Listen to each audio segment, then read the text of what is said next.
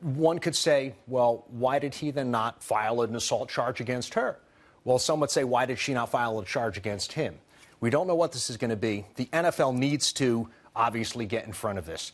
The Kansas City Chiefs, back in February, when they found out about this, and Kareem Hunt lied to them, he told the Chiefs, I stayed in my hotel room, my friends dealt with this.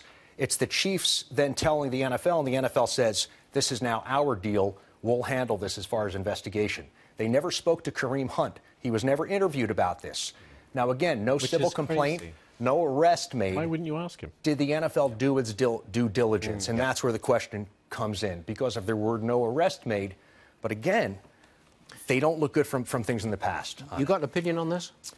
I want to wait to see what happens because I have some some questions here. I think Kareem Hunt to me seems contrite. He's mm-hmm. talking about he wants to get his life in order. Maybe he does have anger management issues he needs, needs to deal with. There's another incident that happened allegedly back in June where he's said to have punched a man in the face at an Ohio resort.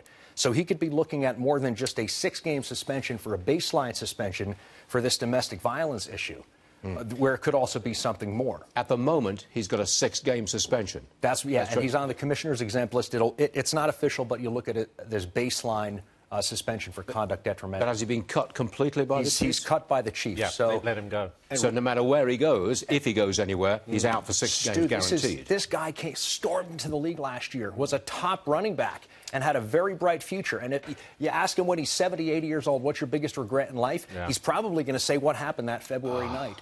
A terrible thing. Players need to learn they're also, they need to be smart.